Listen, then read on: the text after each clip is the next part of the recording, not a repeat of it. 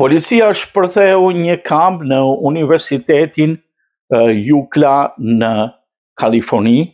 siç bëri edhe një ditë më parë në Universitetin Kolumbia që shkaktoi një valë demonstratash të ngjashme pro-palestineze në disa kampuse universitare në gjithë Shtetet e Bashkuara. Gjatë aksionit të sotëm në mëngjes u arrestuan qindra vetë. Një numër universitetesh amerikane po thirrin në këtë mërkurë policinë për shkak të valës së protestave studentore pro-palestineze. Të martën në mbrëmje, policia në New York shpërndau një grup demonstruesish që kishin paralizuar Universitetin Columbia për gati dy javë, duke arrestuar dhjetra vetë. Njoftohet se policia arrestoi rreth 300 vetë në Universitetin Columbia në City College në New York, ndërsa në Los Angeles shpërthyen përleshje midis grupeve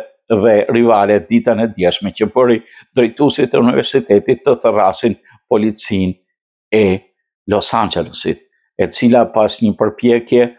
të gjatë gjithë ditës së mëngjesit me protestuesit gjatë ditës së sotme, protestues që ishin barrikaduar edhe me plywood, ata arritën të shpërndajnë grumbullimin e studentëve. Presidenti i Universitetit Kolumbias, Minush Shafik, kishte kërkuar përpara ndihmë për të larguar të gjithë individët nga salla e Hamiltonit në të gjithë kampuset ditën e martë, sipas saj pushtimi i ndërtesës së universitetit po udhëhiqej nga individë që nuk kanë lidhje me universitetin. Universiteti i Kalifornisë anuloi mësimet të mërkurën dhe bëri thirrje njerëzve të shmangin zonën ku një natë më parë pati përleshje mes dy grupeve protestuese pro-palestineze dhe pro-izraelite. Ndërsa sot forcat e policisë rrethuan një grupim studentësh në bibliotekën e shkollës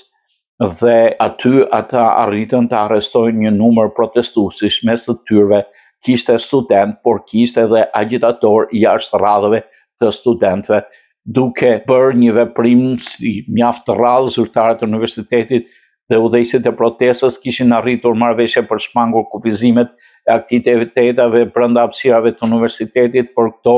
u kapërcyen nga protestuesit pro-palestinezë,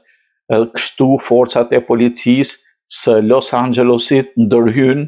duke shpërndarë të gjithë protestuesit, të cilët kishin drita verbuese për të ndaluar policinë, por dhe ishin barrikaduar pas plywoods dhe ndërtimeve të tjera për të penguar ndërhyrjen e policisë. Forcat e policisë, pas një ndërhyrje në mënyrë të organizuar arritën të arrestojnë një numër